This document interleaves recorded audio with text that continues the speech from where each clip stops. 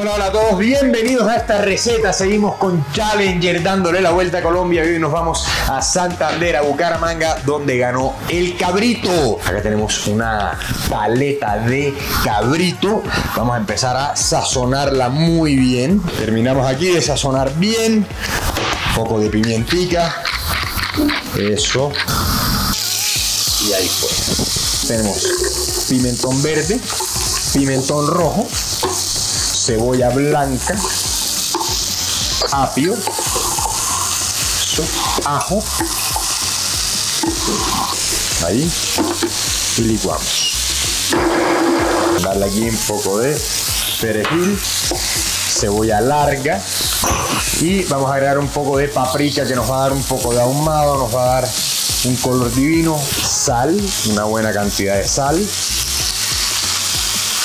la acomodamos en una refractaria y vamos a aprovechar de una vez todo este calor que tenemos aquí.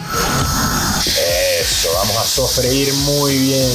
Perfecto, entonces ahora vamos a pasarlo y vamos a cubrir toda la pieza. Eso, divino. Bueno, ya tenemos aquí nuestros vegetales dentro. Vamos ahora a agregar la cerveza. No es necesario retirar el alcohol. El alcohol se le va a evaporar y esto se va a disponer para llevarlo a un horno a 160 grados por 6 horas. ¿Listo? Este señor, a ver qué pinta tiene. Oh, miren esa belleza. Miren, tenemos carnecita roja adentro. Si la ven, muy, muy jugoso. Listo, aquí vamos. Vamos a ensalzar el cabrito. Miren esta salsita súper, súper, súper, súper potente.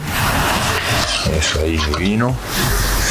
Aquí agarré otro pedacito carnecita magra. Así que lo vamos a acompañar con una ensaladita. Algo muy fresco, bastante liviano que va a acompañar muy muy bien.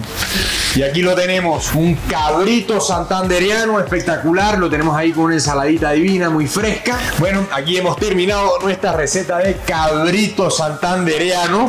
Y bueno, seguimos con Challenger recorriendo el país y haciendo unas recetas maravillosas, muy nuestras.